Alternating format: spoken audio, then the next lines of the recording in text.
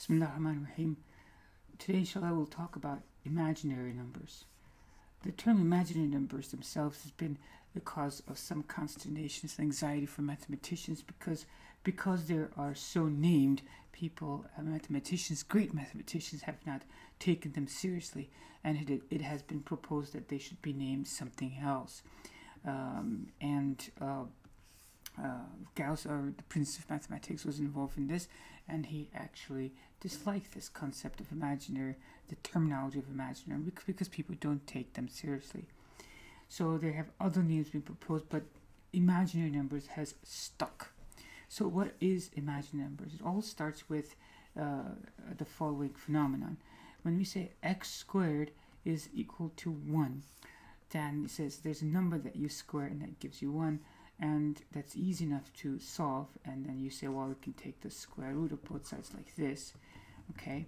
So let's do that with the right pen. You take square root of both sides like this and then you get x is going to equal to plus or minus 1 in other words uh, negative uh, uh, in other words uh, sorry 1 squared will give you 1 and negative 1 squared will also give you 1 so for this original problem here there were two solutions okay so x squared equals 1, the solutions were x is equal to 1 or x is equal to negative 1.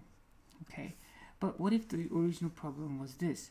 x squared equals negative 1. Now here we have a problem. Uh, now here, so what number multiplied by itself is negative 1? Now intuitively we say well there's no such number. There's no number when you multiply by itself will give you negative 1 you can't take the square root of negative 1 as we already know. But this is this is more than a simple mathematical curiosity. This actually becomes a very important mathematical a hurdle. That, that was at one time uh, facing mathematicians in solving bigger problems.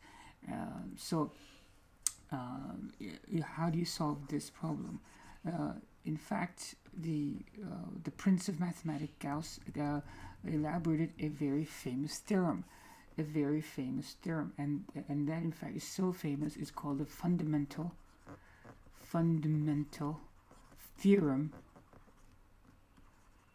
of algebra.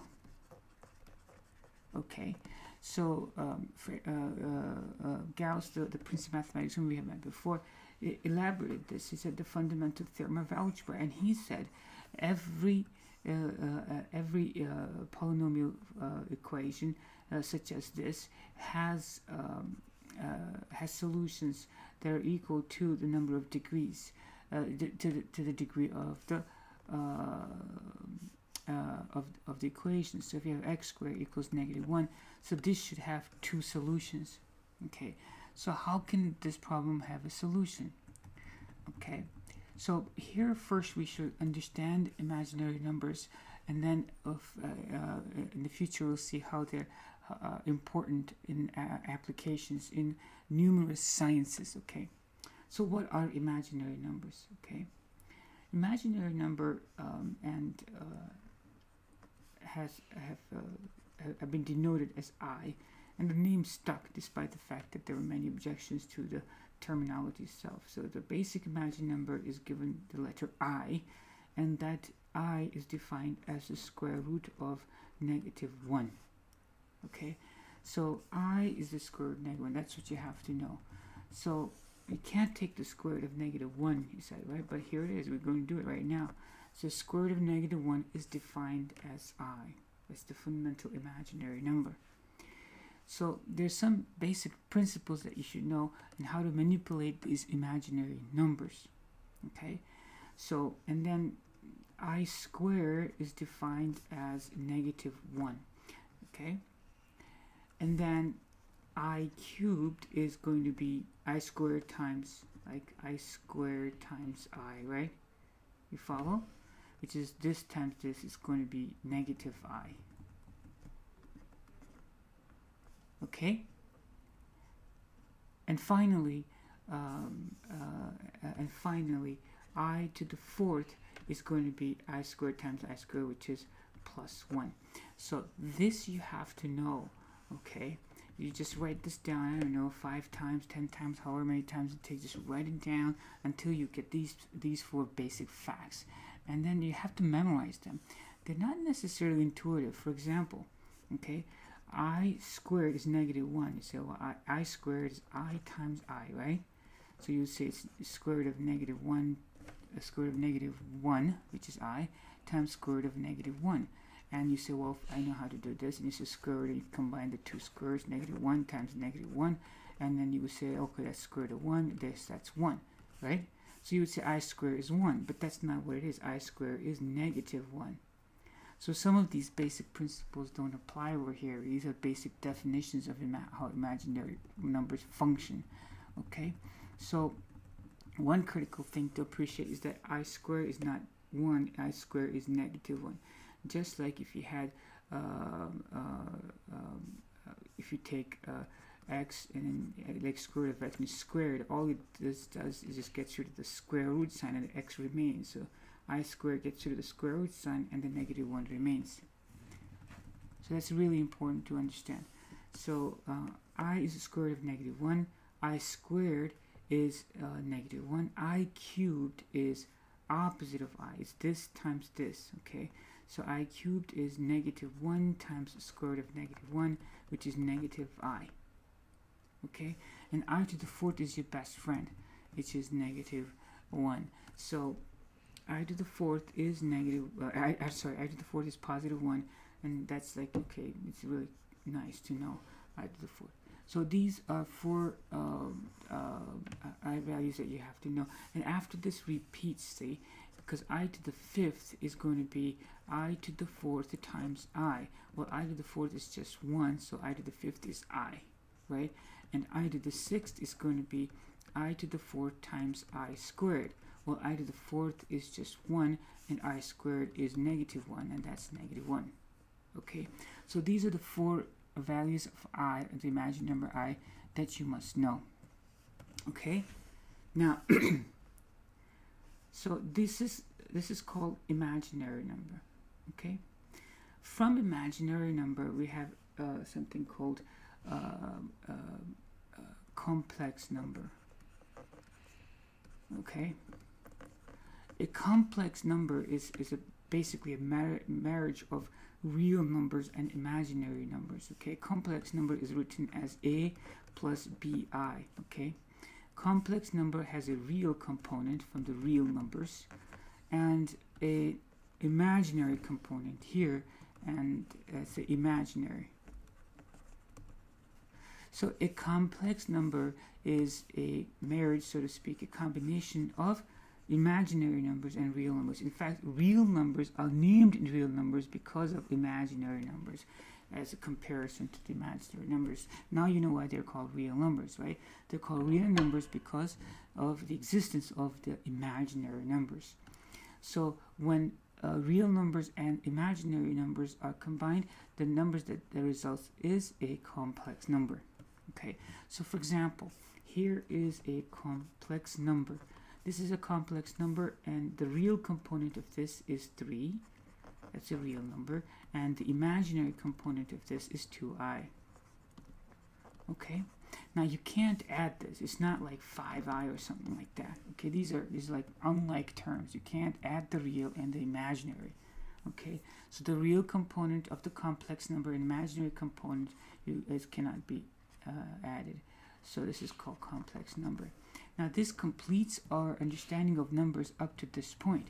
So we started off by saying these are natural numbers, 1, 2, 3, dot, dot, dot, right? And then we had the whole number, 0, 1, 2, 3, and ellipses like this, right? And after this we had the integers, okay? And uh, right, negative 3, negative 2, negative 1, 0, 1, 2, this and then outside the integers we had the rational numbers oh, and these are all numbers that could be written as a fraction. And rational numbers. And then outside the rational numbers we had the irrational numbers. Okay. Okay. And then combine these two we had the real numbers. Okay So these are the real numbers. Now outside of real numbers are the imaginary numbers. Okay, and that's BI. Those are the I numbers. And when you combine the imaginary and the real numbers, we get complex numbers. Okay, so this is our current understanding of how what numbers are. And uh, uh, this story, the story that you see before you, it seems like very uh, uh, simple you perhaps, but in the in the history of humanity, going from natural numbers to whole numbers, a, addition of the zero as a, a mathematical concept was actually uh, quite a step ahead.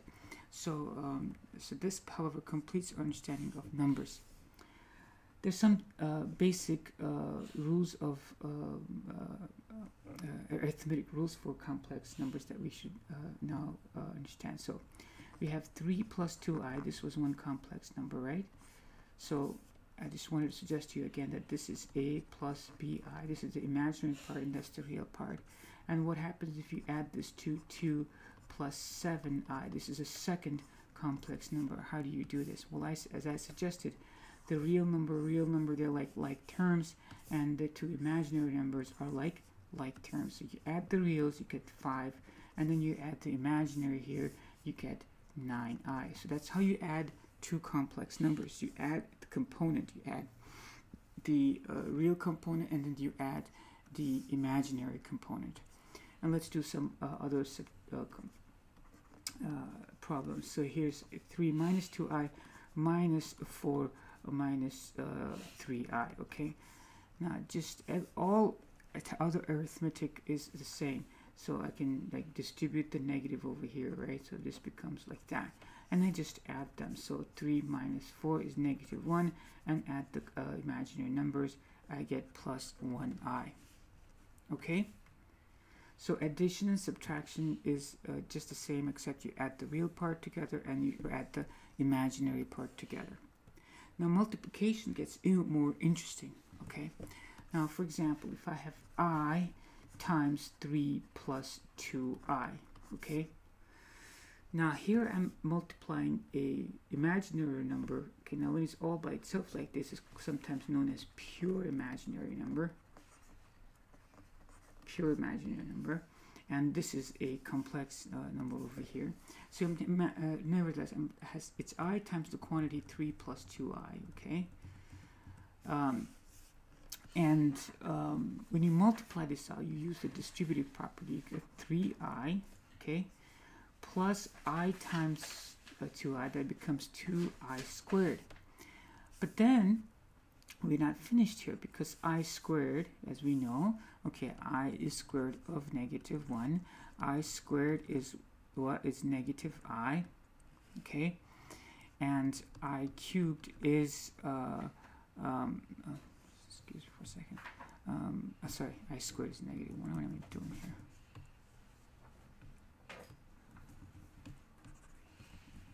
Sorry. I squared is, I was a little distracted. I squared is negative 1. I cubed is negative i. And i to the fourth is 1. So i squared is negative 1. So we can simplify this. So this becomes 3i plus 2 times negative 1. And this is 3i minus 2. Now this is interesting because it's kind of like uh, the real became the imaginary, the imaginary became the real, kind of like, right? So, and it is mustahab, it is mathematically proper to write this as negative 2 plus 3i because this is uh, um, uh, uh, uh by, uh, by agreement a plus bi is this is how it is written typically, the real real number is written first, and the imaginary component is written second. Um, okay, um, so this is multiplication. Now let's do let's do uh, a couple more examples. Let's do this. So minus two i uh, times four minus i. Okay. Now again, we do the distributive property. You get negative eight i, negative two times negative i is plus 2i squared. Okay, now, now we understand that i squared is negative 1. I'm just writing this so you get used to this.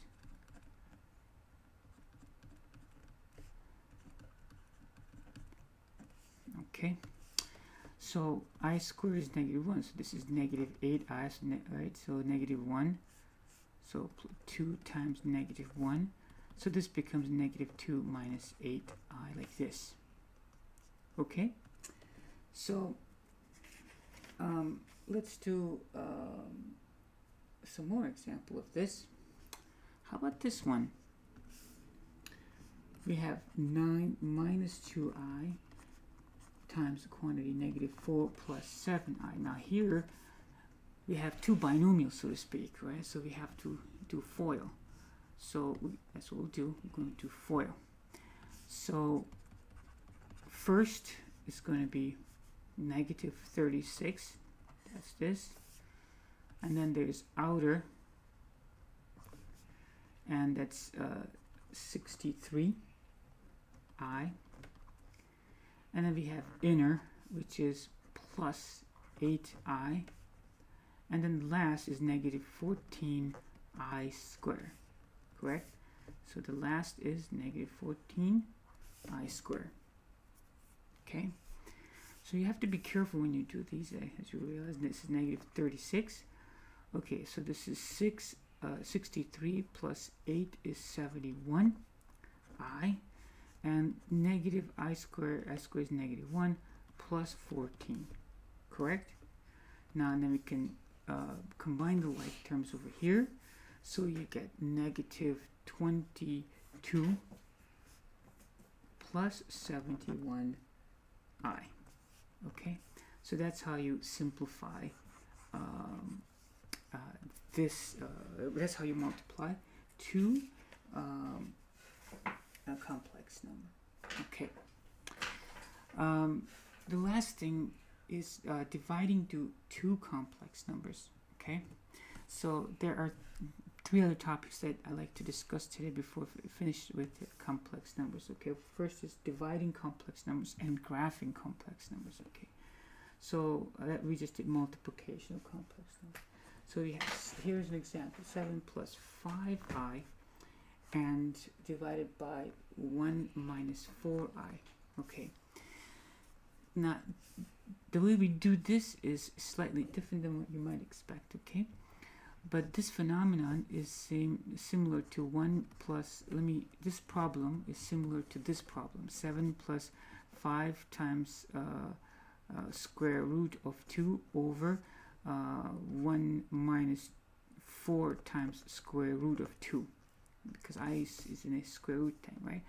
So it, this problem is very similar to this. Now we, when we did this in algebra 1 we suggested that, that it's not mathematical mathematical managed to have Uh, uh, square roots in the denominator so the way we got rid of this square root was by multiplying by the conjugate conjugate I think that's how you spell that so multiplying with the conjugate. The conjugate of this was 1 plus 4 square root of 2.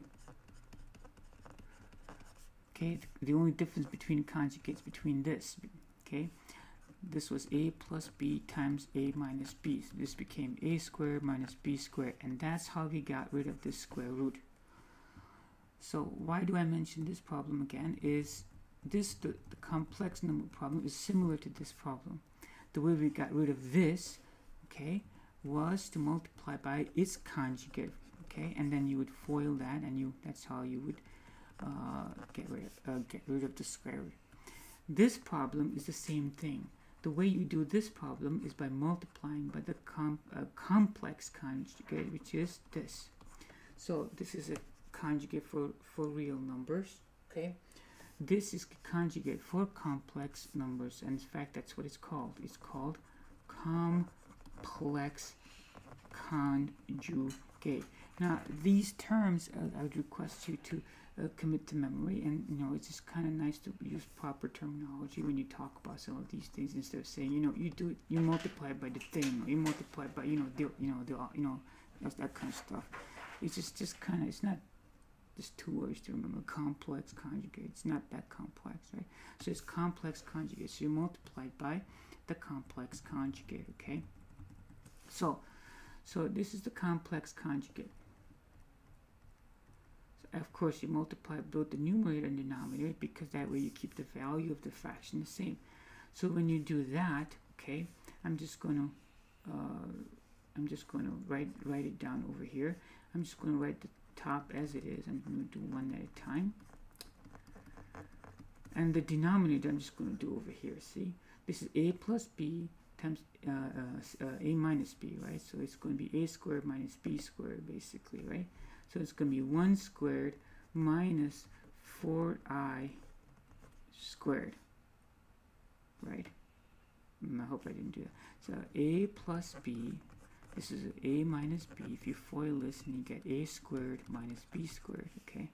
Now this is like a minus b times a plus b, you, you might get confused with that, but it's the same thing. It's the commutative property of multiplication. You can rewrite this like that, a plus b, a minus b if you like. It's going to be a squared minus b squared, okay? So uh, if you do that, let's do it, let's see, what, and then in the next step, I'm going to multiply the top, I'm going to FOIL it. So first, outer, inner,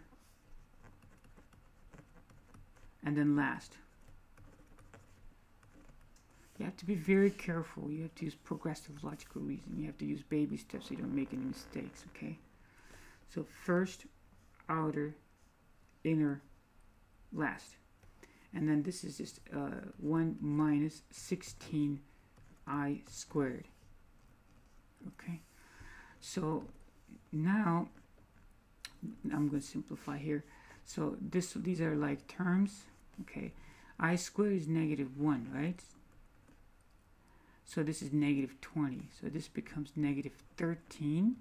That's 7 minus 20. i squared is negative 1. Negative 13. And this becomes 33i over 1 minus i squared is negative 1. So this becomes 16, positive 16. So this is negative 13 plus 33i over 17. Okay? And if you wanted to write this, you would say negative 13 over 17 plus 33 over 17i. So you would write this as a complex fraction like this. Okay. So that's how you divide. This is how you divide complex numbers. Okay? So what have you learned so far? So far I have defined for you what a complex number uh, complex number is and it all starts with the complex number i, so imaginary, imaginary number i, which is square root of negative 1. And from here we said you have to know i squared is negative 1, i cubed is negative i, and i to the fourth is 1 and I suggested to you that these are the basic definitions that you must still be able to do any of these. And I suggested to you that this is a complex number which is composed of a real number and imaginary number, uh, imaginary component over here like this. Okay, and then we talked about adding and subtracting complex numbers and we talked about multiplying complex numbers like 3 plus 2i times 2 minus 4i and then you use FOIL to do that and we talked about dividing complex numbers such as 7 plus 5i over um, 1 minus 4i. And then I suggested the way you do that is by multiplying the numerator and denominator by the complex conjugate. Okay. The last thing I like to uh, talk to you about is um, uh, the imaginary plane. And then uh, next time I'll elaborate on the imaginary plane. So here is what you're familiar with is a Cartesian plane, but this is not a Cartesian plane. This is an imaginary plane, and this is how you describe how you, how you plot imaginary numbers. The x-axis remains the same, and this is where you, the real component of the imaginary number goes, the real component of the complex number goes. And in what you're familiar with, the y-axis, that's where the imaginary component of the uh, uh, of the complex numbers. Though. So this is a complex plane. Okay, it's not a Cartesian plane, but it's a complex plane. It's a plane where you graph imaginary numbers. Now, imaginary numbers such as 3 plus, uh, uh, 4i, okay, um, so let, let, me give you 3 plus 2i. Now, they are not uh, uh even though they like they have two parts over here, okay, they this represents one point in this graph. Okay, so you would go one, two, three on the real axis, and then you go up one, up two over here, and this point right here, right here, that point, okay, represents uh, this imaginary number. So ima- uh, in the imaginary plane, every point is not represented by an ordered pair. A point is not represented by an ordered pair. A point is represented by a complex number like this. So every point in the imaginary plane is represented by a complex number. Now this over here, for example, right there, that's a complex number too. Okay, that this point right here, okay, that's going to be 3 plus 0i. Okay, because it's on the x, uh, the real axis. Okay, this point right here, that's 5. That is 0 plus 5i right there. Okay, so the critical difference between a complex plane and Cartesian plane is that every point in a complex plane is not represented by a, uh, ordered pair. Rather it is represented by a complex one complex number. So this one is negative 3 minus 3i okay. So that's uh, what you have to know. And the origin for the complex plane right here is 0 plus 0i it's not the, so the, there's no ordered pairs here. It's just one number one complex number representing every um, uh, every little um, every point in the Cartesian plane okay? Um, and um, inshallah next time I shall elaborate on the complex plane and some practical applications of imaginary numbers. Until then assalatu wassalamu ala rasulillah assalamu alaikum